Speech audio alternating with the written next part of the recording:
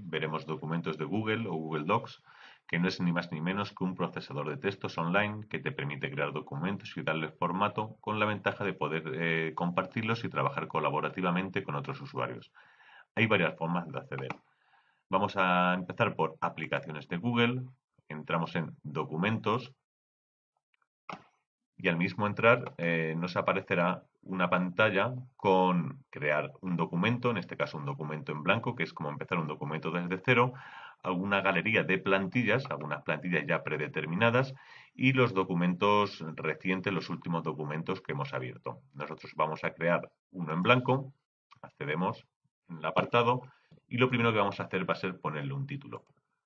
Arriba, donde pone documento del título, lo editamos y en este caso le vamos a poner Google 1, prueba, y cuando cliquemos fuera ya nos aparecerá una carpeta que nos dirá mover a o, dicho de otro modo, eh, dónde queremos guardar este, este documento.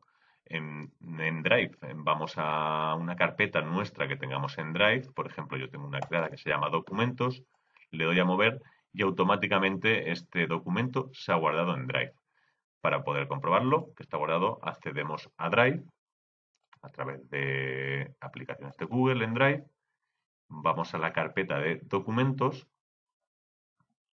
y ahí deberá aparecer el documento que acabamos de crear. A ver si carga. Documentos. Y aquí ya nos aparece Google 1 prueba. Bien, otra forma de crear un documento, y ya que estamos en Drive, es desde aquí mismo. Si hacemos clic con el botón derecho del ratón, nos dirá nueva carpeta. Si quisiéramos crear una carpeta, subir archivos, subir carpeta, pues bueno, damos en más y nos pone documentos de Google. Hacemos clic y nos creará un documento nuevo. Ahora le vamos a poner, es otro documento distinto, le vamos a poner, como hemos hecho antes, le editamos el nombre, le vamos a poner Google 2. Si cerramos el documento, vemos al pinchar fuera, Vemos que nos aparece también la carpeta, pero cerramos el documento y ya vemos que nos aparece Google 2. También podemos crear un documento de Google a partir de uno creado en, Word, pero para eso hay que subirlo o tenerlo guardado en Drive y convertirlo. Hay que tener muy en cuenta la diferencia entre un archivo y otro. Vamos a ver un ejemplo. Al hacer clic con el botón derecho del ratón, si le decimos subir archivos, es una de las formas, nos abrirá el explorador de archivos y yo tengo uno guardado en D. Por ejemplo, aquí que se llama Mundo Google. Le doy a abrir y automáticamente el, el archivo se sube. ¿Qué pasa? Este archivo no es un documento de Google, es un documento de Word. Los podemos distinguir por la W que aparece y no el cuadradito azul con las, con las rayas que aparecen. Este documento de Word no se puede editar. Si yo le hago doble clic, lo podremos ver en el visor de documentos, pero no podemos editarlo. Para poder editarlo, este documento hay que eh, convertirlo a documento de Word. Bien, para eso hacemos clic sobre el documento con el botón derecho y simplemente le decimos abrir con documentos de Google. Se nos creará un documento nuevo que será la conversión del documento de Word a uno de Google. Aquí tenemos el resultado. El mismo documento que yo tenía en Word, ahora lo tengo en Google. Si lo cierro, porque automáticamente, como hemos dicho anteriormente, todos los cambios se guardan, si lo cierro puedo ver que ahora tengo dos iguales, Mundo Google Docs y Mundo Google. Bien, pues ahora vamos a acceder al documento Mundo Google para empezar a editarlo y ver algunas de las herramientas más importantes. En primer lugar, eh, vemos que aquí arriba nos aparece ir hacia atrás, deshacer, rehacer, imprimir, tipo de letra, tamaño, negrita, todas las herramientas que cualquier procesador de textos, eh, cualquier procesador de textos nos podemos encontrar. Bien, en archivo eh, podemos descargar este propio documento y nos da una variedad bastante grande de formatos. Microsoft Word, ODT, de OpenOffice, eh, formato enriquecido en PDF, en EPUB, etc. También podemos cambiarle el nombre, ver el historial de versiones, es decir, cuántas veces se ha modificado, mover a otra carpeta eh, mover a la papelera, es decir, eliminarlo, o publicar en la web. Publicar en la web es importante, ya que si queremos compartirlo en Sites, en Google Sites, es necesario que el documento eh, sea público. Al darle a publicar, nos va a decir eh, que si estamos seguros de que queremos publicarlo, le decimos que sí, ya nos dará un enlace. Si queremos insertarlo en algún lado, pues copiamos el código que nos ofrece y ya está. También nos dice varias, eh, nos tiene aquí varias opciones que solamente lo puedan ver eh, miembros de la Consejería de Educación, Juventud y Deportes eh, y otras, y volver a publicar automáticamente cuando se hagan cambios, etcétera. Yo voy a detener esta publicación para que no pueda verlo nadie. Cierro. Cerramos y cerramos. Esto en archivo.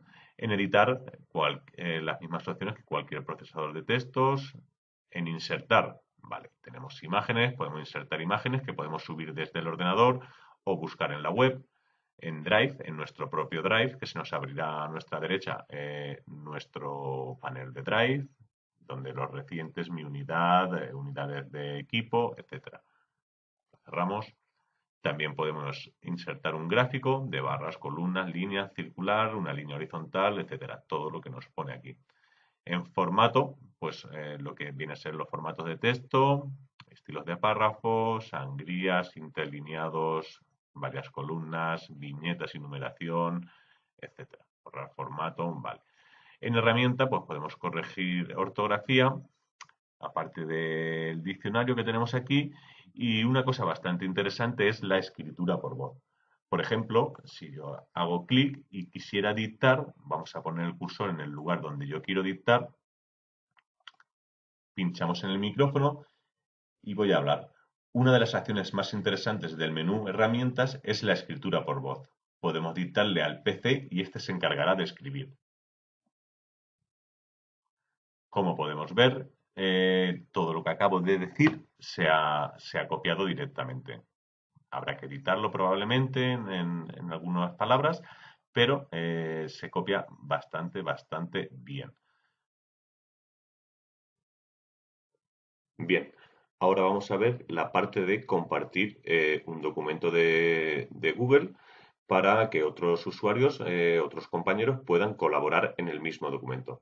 Para esto vamos al apartado compartir, que ya nos dice al poner el ratón encima, los usuarios de la Consejería de Educación, Juventud y Deportes que reciban el enlace pueden acceder al elemento, los usuarios de la Consejería de Educación, Juventud y Deportes que reciban el enlace.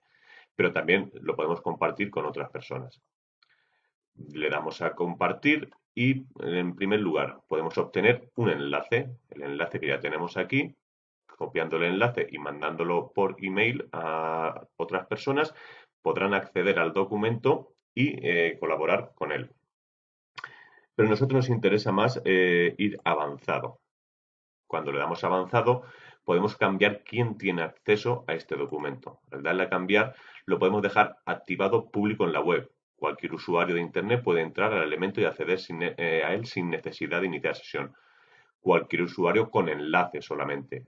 Activado para la Consejería de Educación, Juventud y Deportes. Cualquier usuario de la, de la Consejería de la región de Murcia activado cualquier usuario de la Consejería de Educación, Juventud y Deportes eh, con el enlace y desactivado solamente determinados usuarios.